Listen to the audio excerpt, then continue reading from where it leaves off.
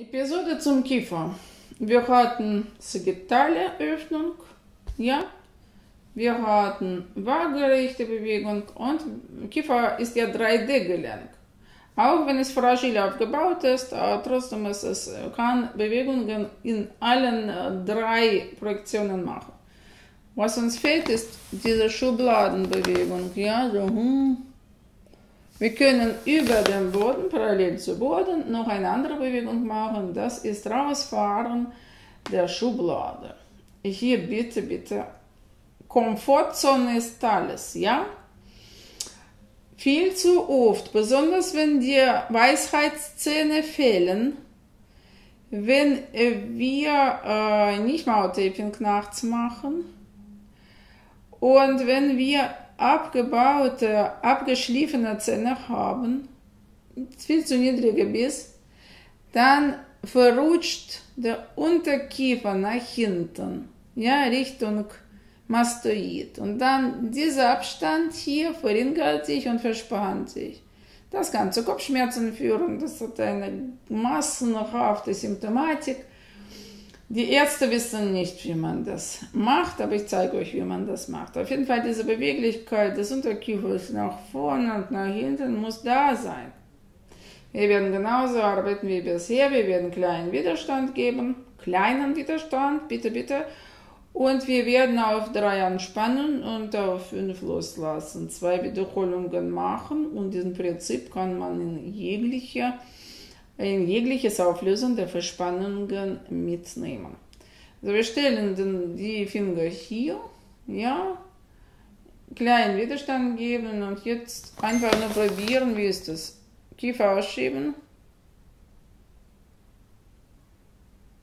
und zurück, einfach rausschieben. Erst nur rausschieben, rausschieben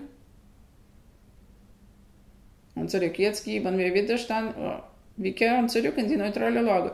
Auf 3 schieben wir gegen Widerstand an. 1, 2, 3. Und auf 5 lösen wir das auf 5, 4, 3, 2, 1 und entspannen. Widerstand nach vorne, Widerstand nach hinten. Nach hinten schieben die Finger ein bisschen, Kiefer widersetzt sich. Nach vorne andersrum, Kiefer schiebt und Finger widersetzen sich. Nochmal, Kiefer schiebt auf 1, 2, 3. Jetzt andersrum Finger schieben. 5, 4, 3, 2, 1. Nochmal probieren. Nicht schlecht.